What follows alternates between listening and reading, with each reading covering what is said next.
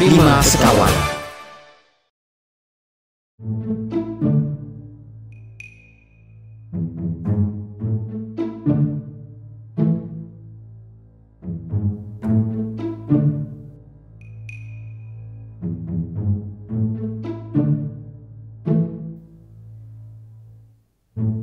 Tuhan, pengen kita bersatu.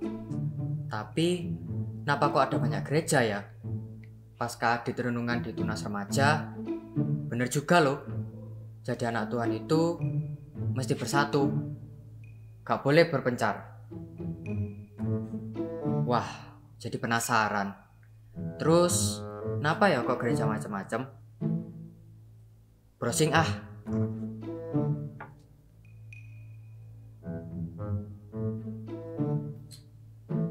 Eh, ternyata namanya denominasi.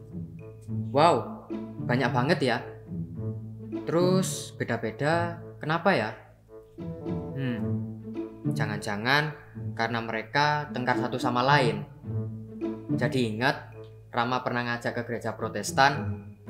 Ngantuk juga sih, tapi salah juga. Cuman, terus apa bisa bersatu ya? Aku aja kalau ketemu orang males. Hmm, tapi Dengan demikian, semua orang akan tahu bahwa kamu adalah murid-muridku, yaitu jikalau kamu saling mengasihi. nah, ini dia. Ketemu. Kalau Tuhan Yesus aja udah doain gereja bersatu, mestinya bisa. Dan karena kasih, kita bisa jadi satu. Hmm, kayaknya ada ayatnya. Dan di atas semuanya itu, kenakanlah kasih sebagai pengikat yang mempersatukan dan menyempurnakan.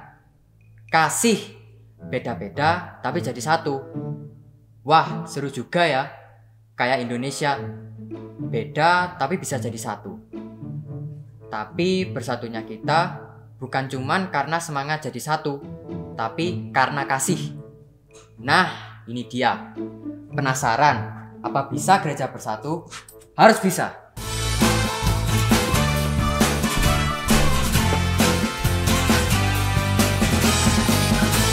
Lima Sekawan